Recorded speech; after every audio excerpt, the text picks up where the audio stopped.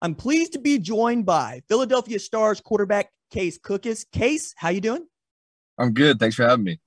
I appreciate you taking time to do this. And I know that you are getting ready to play in the inaugural USFL championship game, Canton, Ohio, at Tom Benson Pro Football Hall of Fame Stadium. But I want to take it back a few years to Northern Arizona and ask quite simply, how did you get from Thousand Oaks, California to Northern Arizona?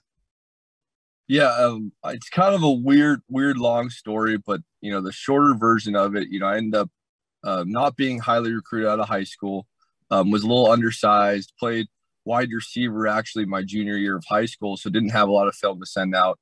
Um, ended up going to a junior college, Ventura Community College, um, and gray shirted there, which was one of the best decisions I ever made because in that year I grew probably another, you know, inch and a half, two inches put on some weight, you know, and at my senior high school is maybe, you know, buck 70.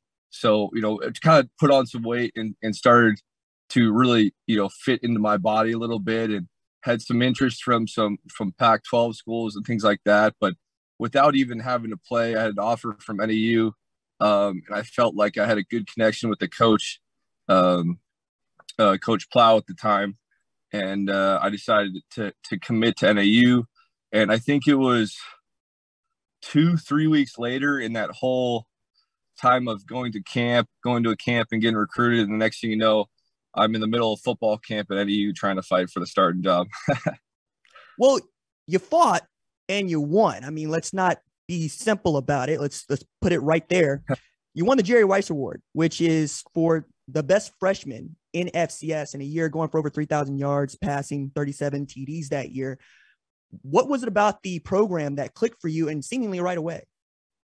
Yeah, uh, so Coach Plough was his first uh, season as offense coordinator there, and they were making a transition from more of a pro style two back set with two tight ends, maybe even um, to more of a spread offense, but a spread offense with pro concepts at more of a, a little bit of more of an up tempo pace. We'd still huddle and, and get together, run some wing sets and run some, you know, play action, run the ball with a couple tight ends, but um, we really wanted to, to spread it out. And what we were able to do with a lot of seniors around me is we had a really good wide receiver and Emmanuel Butler there on the outside. We had a really good uh, running back and O line that were were seen, seniors, veteran guys. And so for me at quarterback, walking into that situation was was awesome because they all knew what they had to do. I didn't have to coach anyone up, so everyone knew exactly what to do. And you know, we had so many playmakers on that team um, you know, and I was fortunate enough to win the Jerry Rice Award. Um, one of the greatest achievements of my life. I was so so thankful, and uh, just to be even mentioned the same sentence as Jerry Rice is is an awesome accomplishment for me. It sounds as if you had a lot of the pieces in place at NAU that you do with the Philadelphia Stars, a, a, scheme that's wide open that gives you more control, and also a bunch of players that already know what they are doing. Is that a fair assessment? Yeah, absolutely. I think um, Coach Bart, just getting back to that, it was he does a great job of making you know a complex offense very simple for the guys. So you can come in and, and execute his offense just in a short week's notice. You know, KJ came in last week and was able to move the ball down the field very quickly for us um, when I was out for that series too. So um, you know, coach starting with there with Coach Bart, and then you get into our playmakers at wide receiver, tight end, running back. It's amazing how many playmakers we have. Um, and it's awesome to see them work. So my job at quarterback is really easy because I'm just trying to get them the ball as quickly as I can. That is the X's and O's of what you are doing. That is you being a quarterback, reading the field and getting the ball out to your playmakers. But one of the aspects of your game that I think is very interesting and quite literally entertaining is your fiery personality. And the way I want to get at this is there's a story about you back at NAU in Big Sky Conference playing against Montana. And you picked up a targeting call and an ejection as a quarterback. And as I understand it, you are the first quarterback to ever be ejected for targeting. Can you tell us that story? Yeah, that was uh, it's a crazy story. It's funny now. It wasn't so funny when it happened, but uh, I was pretty fired up when it happened. But um, yeah, so basically, it was a it was a trick play for anyone that hasn't seen it and I was supposed to get the ball.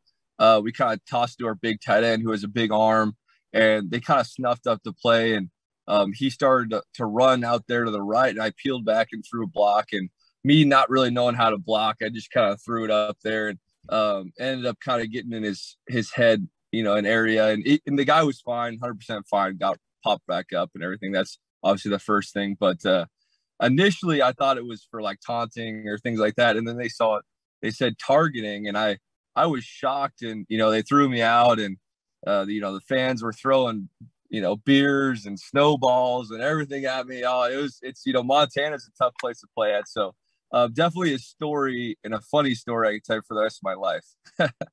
no, I I appreciate you telling that story. Also, appreciate a quarterback that's willing to throw his shoulder into some things, and, and this is part of your story that I find fascinating. We'll get back to, but I also want to jump ahead. You did some time in the NFL, the Giants, the Broncos, the Vikings, and the Raiders. First, did I forget anybody? And what have you taken from your limited time in the NFL as a pro? no, I think that was it. I had a little stint there with uh, uh, Edmonton Elks up in Canada after I got cut from the Raiders. Um, but I, I, learned so much each place I go. Um, there's so many good quarterbacks and coaches that I've met um, and other players around the league. You know, I think um, coming out the year I did the COVID year, not having a pro day, not having this and that. So it was hard for me to learn how to be a pro over Zoom. You know, you kind of you know, when you go to those mini camps, you're around other rookies and you kind of get to learn together. Um, and when you're doing it over Zoom, you kind of have to take your lumps and um, you don't really, you know, you, sometimes you can't tell what you're doing wrong because just because it's over computer or you can't make the mistakes on the field and then go back and correct them in the room and then come back and make them and fix them out on the field. So, um, you know, I had a lot of learning to do in that aspect and bouncing around the way I've done I feel like my career, especially now since I've got to USFL, has been heading in the right direction. You know, I had small stint with the Giants, made a couple impressions the next year on, you know, Broncos, Vikings, Raiders, and now I was able to play and get some film here in the USFL. And, uh, you know, we're playing for a championship, which is an awesome opportunity.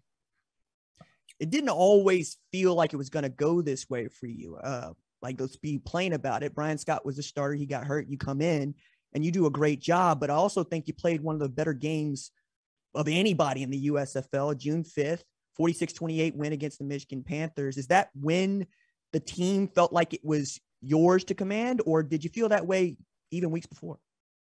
Yeah, I think um, you know, going back to the offense, I feel like um, you know, it was never anyone's team itself. You know, we Coach Bart again has set it up um, so nice for anyone to step in and be able to execute um, at really any position. You know, we not to say our guys are interchangeable because we have some really truly special guys, but um, what we want to do as offense is keep it simple, get the ball out into those those playmakers' hands, and you know, you know, yes, it was kind of clicking all together on that Michigan game, but uh, you know, even at that Michigan, there was there's three or four throws and three or four maybe decisions that I still wanted back. So still wanting that almost perfect game. I know that's you know, I think quarterbacks are always striving to get better and better and better, get the higher completion percentage. And, you know, we'd all love to go, you know, 20 for 20 with five touchdowns, but, you know, that's what we're achieving. And if we slightly miss, we have, a, you know, a great game. So, um, you know, just got to keep working at it. And like I, I keep bringing Coach Bart up, but he does a great job of setting us up for success. Well, don't be too hard on yourself. I mean, we're talking about you said three or four you want back. You were 20 and 26, dog, for like 250. so like let's pump the brakes on that. But also in that game, we got to see you talking about playing wide receiver in high school a little bit. You got some wheels and you've been trying to downplay it all year. I want to know, like, why are you trying to downplay your ability to move in the pocket?